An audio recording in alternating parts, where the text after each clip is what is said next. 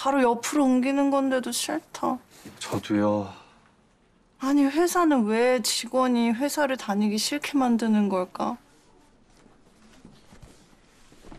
아 이거 도대체 무슨 생각으로?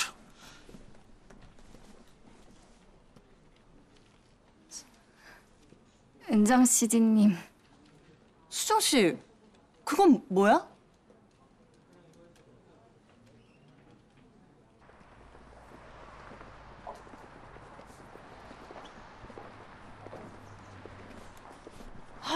아니 권고 사직이라도 몇 달 전에 미리 말을 해줘야 되는 거 아니야? 계약직인데요, 뭐.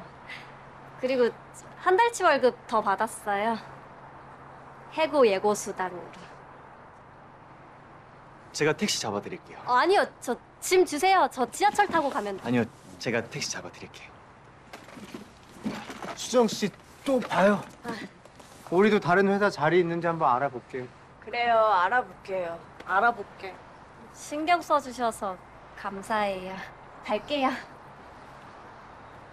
가요.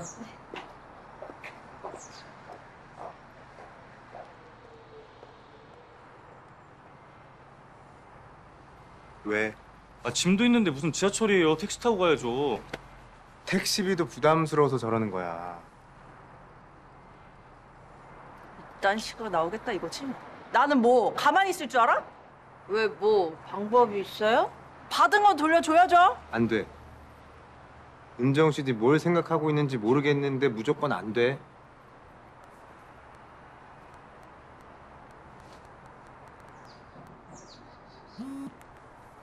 핸드폰 봐봐요 이름이 정확히 유정석이죠 유전석이나 류정석 아니죠? 유정석 맞는데 왜? 한치의 오차도 있으면 안 되니까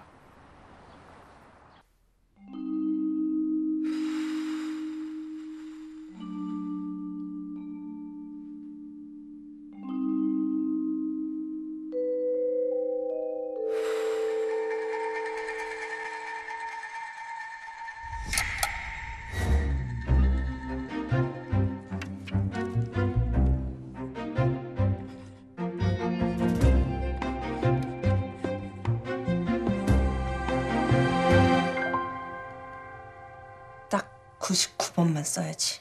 100번 쓰면 죽을 수도 있으니까